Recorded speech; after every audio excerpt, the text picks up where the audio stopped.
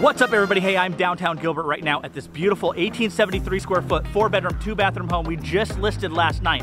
We're gonna be doing an open house all weekend long, so come by and check us out. All the information in the description. But hey, this house, it's one of a kind. All the upgrades from inside the house, from the shiplap to everything else, the kitchen. Oh man, this is just a beautiful house. So come by, check it out, and I can't wait to show you inside. Take a look.